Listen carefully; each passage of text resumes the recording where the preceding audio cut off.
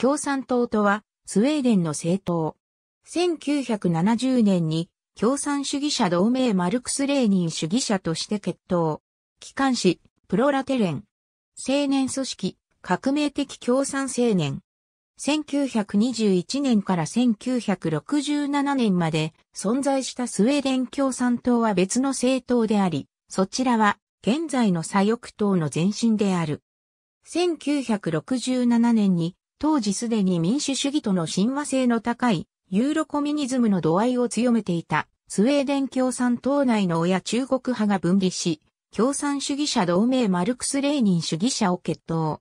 1970年、そこからさらに分裂し、共産主義者同盟マルクス・レーニン主義者が誕生する。この組織が共産党の起源である。2005年1月の第14回党大会で現在の党名に変更した。リクスダーゲンには議席を持っていないものの、2014年、現在、地方議会では若干の議席を持っている。現在は民主社会主義政党になっている左翼党には批判的であり、そうした意味ではスウェーデン国内における極左政党である。